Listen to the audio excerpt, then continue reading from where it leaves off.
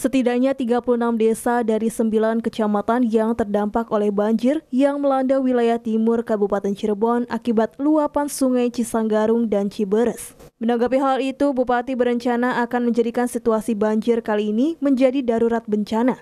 Pasalnya dari 36 desa itu 83 ribu warga terdampak. Bupati yang meninjau lokasi banjir di Desa Sidaresmi, Kecamatan Pabedilan pun berusaha menyalurkan bantuan.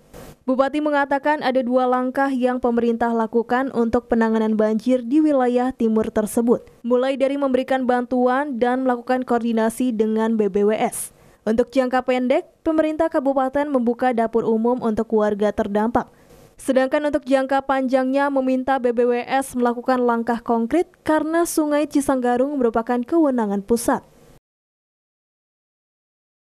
Pak, langkah dari Pemkap gimana Pak? 83 ribuan. Langkah, langkah dari Pemkap? Langkah dari Pemkap yaitu kami membantu pada masyarakat. Kita buka uh, ini yang yang jangka pendeknya.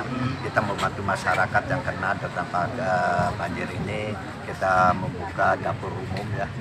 Nah tapi untuk jangka panjang supaya jangan banjir lagi satu-satunya itu BBWS karena ini tingkat pusat karena sungainya sungai Cisanggarung sungai uh, besar perbatasan antara Jawa Barat dan Jawa Tengah. Maka kami tadi sudah kontak yang dari Cisanggarung.